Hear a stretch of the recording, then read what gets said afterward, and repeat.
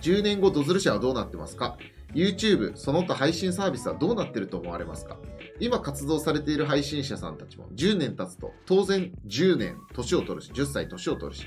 そうなると配信者さんたちの年齢層も底上げされますが、その時に今みたいにゲーム配信を今と同じようにされていると思われますか ?10 年後について聞きたいってことだよね。えー、っと、まず、えー、っと、今予想し、あのー、ちょっと面白くない答えかもしれないですけど、えっとね、10年後を今予想するのは難しいと思ってます。で、難しいって思ってることが大事だと思ってて、その、だって10年前にさ、この世界線はやっぱ想像できてないと思うんですよね。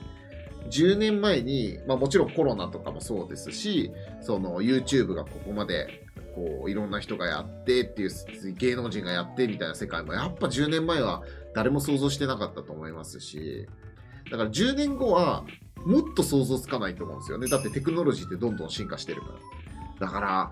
今予想ししても、その、まあ、ちょっと面白くないよ、答えは。答えは面白くないけど、今予想してる答えは、まあ、多分外れてるだろう。多分外れてるだろうっていう前提から考えることが結構大事かなとは思います。で、えー、多分これで聞きたいのは、この質問をしてくれた人が聞きたいのは、みんな10歳年取って YouTube 続けてるっていう話かな？そういう話なのかな？うーん。確率で言うと、10年間、10年プレイヤー、かなり少なくなってるとは思います。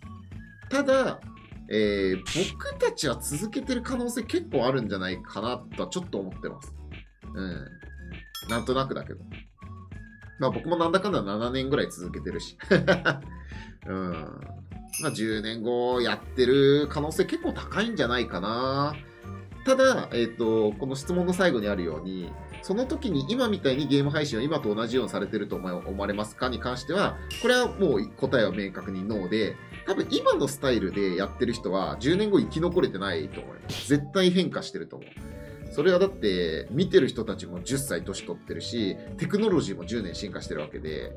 ね今じゃあ10年前受けてたコンテンツを今出してもやっぱ受けないみたいなのはあると思うんでスタイルは変わってるんじゃない？うん変化してなんぼそうそうそうボンジュールさん52歳は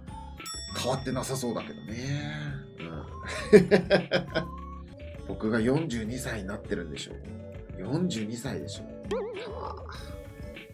想像つかないよね。みんなも10年後想像つく。42歳想像つかんねえどんな42歳になってるんだろうね。10年前は自分が YouTuber になってるとかもう1ミリも思ってなかったな。本当に。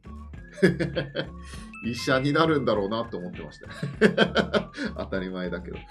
あ、でも、その僕たちは続けてると思うって言ったんですけど、客観的に見て、10年前配信者っていう仕事とか配信者をやってた人たちが今生き残ってる確率ってマジで低いんですよね。だから今人気のある人とか今 YouTube で飯を食ってる人たちも多分10年後かなり減ってると思います数は。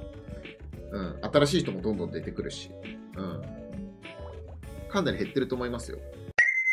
今日もご視聴ありがとうございました。よければ他の動画もご覧ください。最新動画もチェックドズル社の切り抜きチャンネルもぜひ